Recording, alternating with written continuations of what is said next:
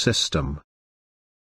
Marine fuel quality can significantly affect the performance, operation and maintenance of the diesel engine.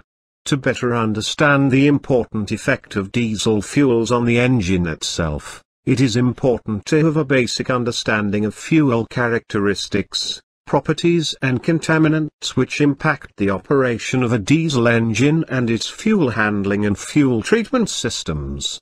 The fuel oil system for a diesel engine can be considered in two parts which are the fuel supply and the fuel injection. The fuel supply of this plan start from the fuel oil storage tank.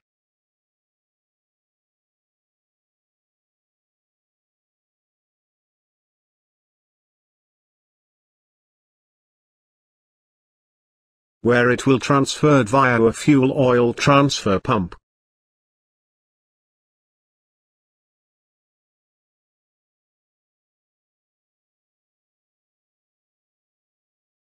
to a gravitational fuel oil service tank.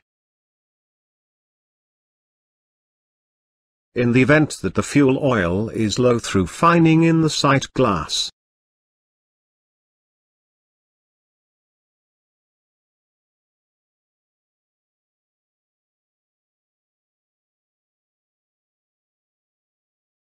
Overflow pipe are fitted to direct the excess oil back to the oil overflow tanks.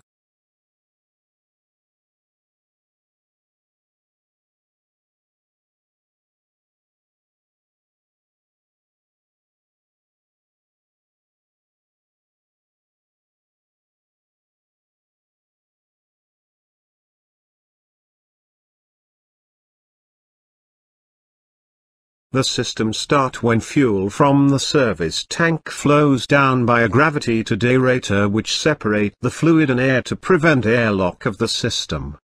During operation the oil is pumped by a gear pump which is attached to the main engine driven by a set of running gear through the main engine gearing system.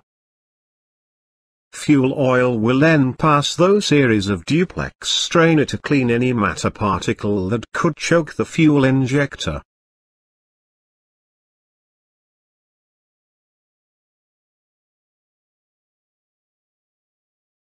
After passing through service pump it will pass through a flow meter where fuel consumption is monitored. A second duplex clean final metal and sludge from the fuel oil system. This oil will then pass to the fuel injection pump where the pressure will be raised to the fuel injection valve located in the center of the cylinder head the fuel injection pump being operated by a set of camshaft driven by gearing system at the end of the engine chain drive. This pump is controlled and regulated by the governor to series of linkages that amount of fuel supplied to the injector, as a result the speed of the engine,